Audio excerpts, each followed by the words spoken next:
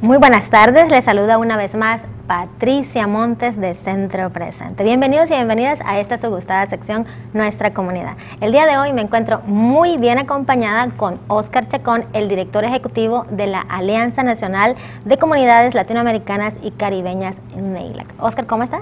Muy bien, Pati, encantado de estar con ustedes. Qué bueno, bienvenido a Boston. Me han dicho que a ti te encanta venir a Boston porque incluso viviste en Boston. Así es, viví casi 15 años en la ciudad de Boston y me siento muy en casa. Qué bueno, me alegra, me alegra que estés acá con nosotros. El día de hoy, Oscar, eh, queremos que nos cuentes acerca de NEILAC. ¿Cómo surge NEILAC? Eh, ¿Bajo qué contexto político surge? Sabemos que es una red defensora de los derechos de los migrantes eh, en este país muy importante y que también tiene una agenda transnacional. Pero cuéntanos un poco más acerca de la visión, la misión de NEILAC y bajo qué contexto surge NEILAC. Bueno, lo primero que hay que entender es que las comunidades inmigrantes latinoamericanas somos el grupo más numeroso de la población extranjera residiendo en Estados Unidos. Ya para el, censo del año 2000 eh, quedó muy bien documentado eh, la importante presencia que ejercíamos las personas de origen latinoamericano extranjeros viviendo acá. Sin embargo, al echar un vistazo al panorama nacional de organizaciones latinas, latinoamericanas, nos dábamos cuenta de que no existía ninguna organización que tuviera como propósito principal representar, ser la voz de esas comunidades inmigrantes organizadas en Estados Unidos. Eh, había todo un proceso de consulta en torno a esto del año 2001 al año 2004.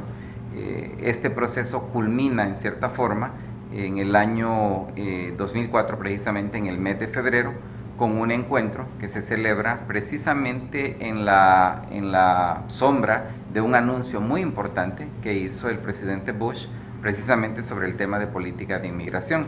Fue en ese ámbito eh, que surge la Alianza Nacional de Comunidades eh, Latinoamericanas y Caribeñas, o NALAC por sus siglas en inglés, como una entidad que busca, eh, repito, ser la voz, ser un espacio articulador de organizaciones inmigrantes latinoamericanas en Estados Unidos, pero con una característica adicional que nos hace también diferentes, y es el que las comunidades inmigrantes latinoamericanas reconocemos que si bien es muy importante luchar por mejorar la condición de vida de nuestra gente en Estados Unidos, tenemos también que buscar maneras de solventar el problema de falta de oportunidades en nuestros países de origen. Porque sabemos que en la mayoría de los casos, si oportunidades económicas, políticas, sociales, culturales hubieran estado presentes en nuestros países, difícilmente nos habríamos convertido en personas migrantes. Y por eso NEILAC se ha reconocido no solo por ser una voz de comunidades migrantes organizadas, sino por tener esta otra característica de querer incidir en la realidad de nuestros países de origen, en lo que nosotros denominamos una agenda transnacional enraizada en nuestras propias comunidades. Gracias, Oscar. Y hablando un poco más acerca de esa agenda transnacional que NEILAC implementa, sabemos que recientemente se dio un esfuerzo coordinado en apoyo a organizaciones de sociedad civil en México. Se dio una caravana eh, para tratar de dar a conocer en los Estados Unidos la problemática que en este momento vive México, la violencia, el crimen organizado. Me gustaría que me hablaras un poquito más acerca de ese esfuerzo, el por qué NEILAC apoyó ese esfuerzo. Sabemos que hay una persona eh, muy conocida a nivel de, medios de comunicación en México, que es el poeta Javier Sicilia, pero también que hay muchas personas que están siendo afectadas por esta problemática. Cuéntame un poco más acerca del el porqué de esta caravana y el por qué Neila acompañó ese proceso. La caravana fue en, en esencia un proyecto que nace en el seno de algo que se ha llegado a conocer ahora como el Movimiento Nacional por la Paz, la Justicia y la Dignidad que es un movimiento que surge eh, bajo el liderazgo de personas que han sido víctimas de lo que se conoce a lo largo de los últimos 6, 7 años en México como la guerra contra eh, las drogas, la guerra contra el crimen organizado, pero que desdichadamente ha cobrado la vida de más de 60 mil personas inocentes en México. Y precisamente estas víctimas, encabezadas por Javier Sicilia, un muy reconocido eh, poeta, guionista mexicano, cuyo hijo lamentablemente fue una de estas 60.000 víctimas, deciden, después de haber llevado dos caravanas de sensibilización y educación pública en México, deciden lanzar una caravana en los Estados Unidos con el fin preciso de darle a conocer al público estadounidense el costo humano que ha tenido esta guerra contra las drogas en México por medio de las historias eh, personales, los testimonios de personas que han sido familiares de víctimas en México. NEILAC decide sumarse a este esfuerzo, no solamente porque es un tema que indudablemente evoca sentimientos de solidaridad, sino porque vemos también en la caravana un ejemplo muy similar a un esfuerzo que hemos venido impulsando desde Estados Unidos como NEILA y sus organizaciones miembros por medio de una iniciativa que hemos denominado Somos o We Are en inglés. Para nosotros ha sido crucial trabajar para humanizar la cara del debate sobre el tema migratorio. Aquí cuando se habla de inmigración e inmigrantes con frecuencia se habla en lo abstracto, sin precisar verdaderamente de quiénes estamos hablando. En ese sentido veíamos el interés de la caravana de crear conciencia, de sensibilizar sobre el costo humano de la guerra contra las drogas, con nuestros propios esfuerzos de sensibilizar y humanizar el debate sobre inmigrantes y políticas de inmigración por medio de conocer quiénes verdaderamente son las personas migrantes que vivimos en Estados Unidos.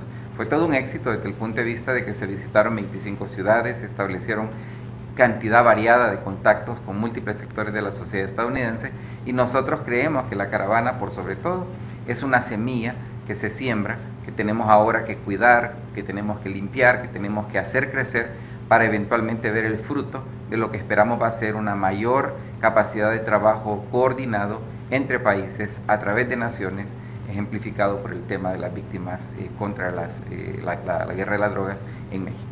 Has mencionado, Oscar, la importancia de, trabajar en colaboración con organizaciones de sociedad civil, no solamente en México, sino también en otros países de América Latina para tratar de mejorar la calidad de vida de las comunidades en nuestros propios países de origen, cambiar esos contextos políticos o económicos.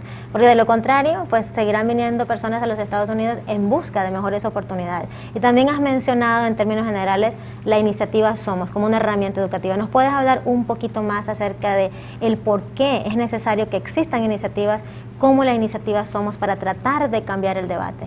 Claro, mira, nosotros partimos de la premisa que el problema más grave que enfrentamos las personas inmigrantes, la mayoría de los cuales somos personas de América Latina, especialmente de México, es que lamentablemente el debate sobre inmigrantes y política de inmigración se ha mantenido en un ámbito de abstracciones que no permiten al público estadounidense tomar conciencia que estamos hablando en última instancia de seres humanos. En este sentido, la iniciativa Somos surge como un esfuerzo para darle al liderazgo de organizaciones migrantes el conocimiento, las destrezas que nos permita convertirnos en portadores eh, de nuestros propios eh, desafíos, en, portadores de ideas, en portadores también de desafíos ante la sociedad en general, a partir de escuchar los testimonios de nuestra propia comunidad y de esa forma sensibilizar a, las personas en Estados Unidos sobre qué significa verdaderamente la política de inmigración que actualmente Estados Unidos tiene. Y, creemos que el, secreto para poder cambiar las actitudes reside precisamente en la capacidad de poder fomentar cada vez más oportunidades de diálogo directo, de interacción social entre personas migrantes y personas no migrantes. Sin superar ese problema, creemos que va a ser muy difícil llegar a un momento en el que se pueda hablar de articular políticas migratorias que realmente reconcilien, por supuesto, los intereses nacionales de Estados Unidos con los valores humanistas, los valores eh, morales que han hecho de los Estados Unidos eh, un país que se supone debe ser un ejemplo en cuanto a temas de derechos humanos, pero que con frecuencia en un tema como la migración claramente vemos que hay una contradicción. Oscar, muchísimas gracias. El tiempo no está con nosotros. Muchísimas gracias por haber estado con nosotros. Si la gente necesita más información acerca de Neila, ¿qué sitio web pueden visitar? Bueno, el, nuestro, que es el